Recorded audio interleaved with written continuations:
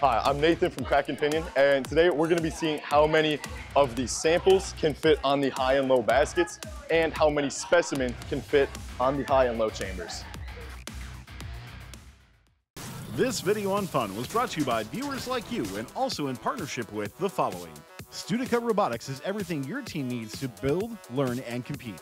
Check out their FTC starter kit, intake hub kit, and odometry wheel options at studica.com slash robots. Teams in the USA can get up to 25% off and apply for grants at studica.com slash robots. Right now, I'm just gonna take these, we have all of them in the corner right here, and I'm just gonna fit them all right here. I'm gonna guess, I'm going for around 20. I think that's what we're gonna end up fitting in here. Something like that. I'm not sure.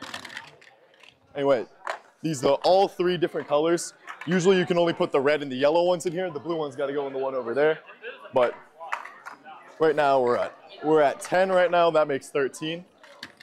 This right here is gonna be 19. And I think, yeah, I think 20, 20 is gonna be the number. I'm not sure if that counts in the score. We're gonna have to look at that one later. But I think 20 is the number that you can fit in the high basket. I believe the low basket is the exact same size. So you're looking at about 40 per alliance. And then if we go over here, we are gonna be looking at also how many of the specimen we can fit on the high and low chambers. Again, usually it would just be the red and yellow ones, but for my sanity, we're gonna, we're gonna use all three. I'm guessing about, for this one, I'm gonna say around 15 on the top and 15 on the bottom. They're, they are the same size again, just like the baskets. So should be easy to count.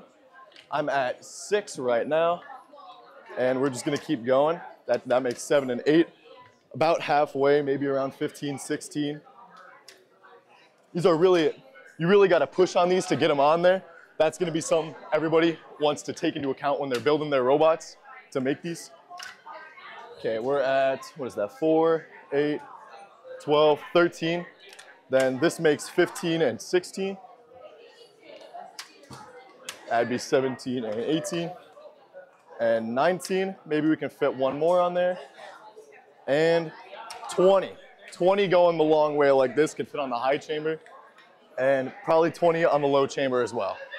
So, all right, that's about it. All right, uh, thank you very much for watching. Make sure to check out all the other stuff on the Fun YouTube channel.